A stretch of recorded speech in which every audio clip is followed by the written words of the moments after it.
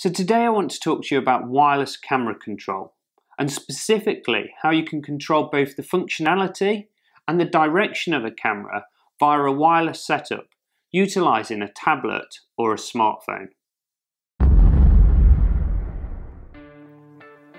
Now for this setup you're going to require the Hague Pan and Tilt power head, the CamRanger wireless controller, a compatible camera and also the PT hub.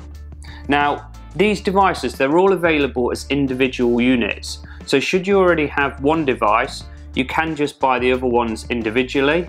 But Hague do sell these three units as a complete kit should you need everything. So the Hague Pan and Tilt power head has a standard quarter inch camera screw on the top of the unit.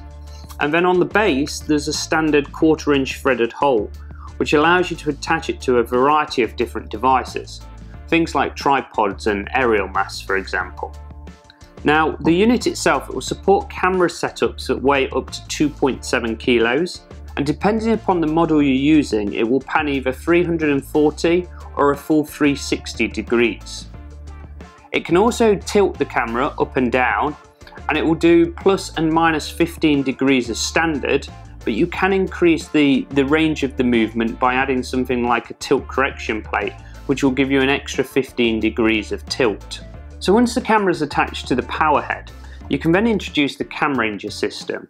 And once this is linked up to the camera, it transmits its own Wi-Fi signal to a tablet or a smartphone and allows you to control the functionalities of the camera wirelessly. So not long after the CamRanger device came out, it became apparent that a lot of people using this device were also using it in conjunction with one of the Hague Pan and Tilt power heads. And I think this kind of led the guys at CamRanger to, to realise that they really needed to provide a solution that would work wirelessly with the power head as well as the camera, all controlled through your tablet or smartphone, so that you had a complete all-in-one system. So the PT Hub is basically the extra part of the jigsaw, and that's what connects this whole system and setup together. Now what you need to do is you plug the actual CamRanger device into the PT Hub, so that that is now connected to the wireless signal. You plug the power head into the PT hub and also the cable that goes between the camera and the CamRanger usually, that now gets plugged into the PT hub as well.